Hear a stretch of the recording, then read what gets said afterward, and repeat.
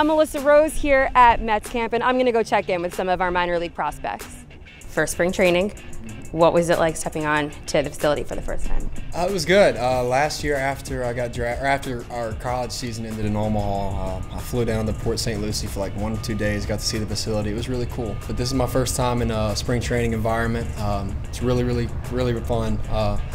You know, I'm getting better. That's the that's the cool thing. You know, you, you get here and uh, kind of you know trying to you're a little sped up, trying to slow everything down because you know it's just it's just the same game. But uh, getting around all these guys, uh, it's fun because you get to compete against you know your your own teammates that you want to see do well, but uh, also you know try to outwork them every day. And it's uh, it's just a cool environment you're in. What specifically specifically have you been working on since you got down here?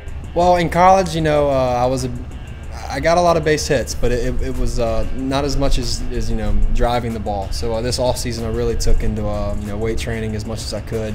Uh, not just trying to throw on weight, but try to throw on the right weight, if that makes sense. Mm-hmm. And um, you know more efficient movements in my swing and more consistent uh, you know consistent uh, setup to get in a good hitting position. And think I've done that, and you know I'm just trying to grow off of that. Is there anyone specific that you've been working with since you've been down here that's really helped you? Yeah, actually, in the offseason, hit with Trey Hannum. Uh, they, they, just hired him as a, minor league hitting coach, so it actually worked out crazy. I was hitting with him a little bit, and he calls me and says, "Hey, the Mets just hired me." So it was like, "Oh, okay, well, that's even better." Get to hit with him here at spring training, and uh, and, my dad. Uh, my dad knows my swing better than anybody, so uh, my dad and uh, just trying to continue to grow. Has your dad gotten down here at all yet? No, no, uh, he won't come. Uh, he didn't miss a. He missed one game in college.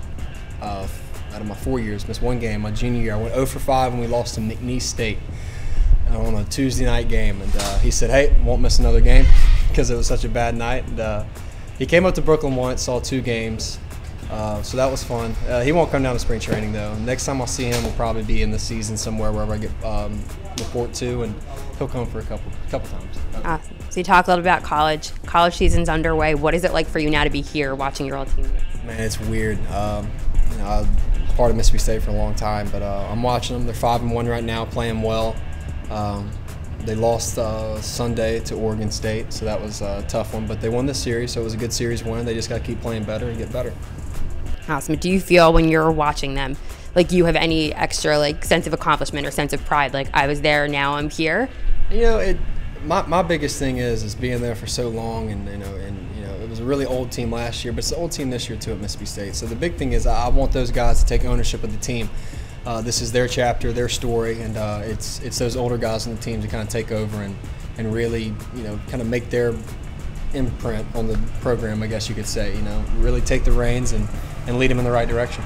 Awesome. And when you think about the 2020 season that's coming up and your ultimate goal, where do you see yourself at the end of this year? Hey, I want to just get better every day. If I get better every day, I'm doing something right, and um, I, I, know I belong here, and, I, and ultimate, my ultimate goal is to be a big leaguer, and I, and I know that's what I can be. So, just got to keep working in that direction, and uh, you know, just get better. That's all.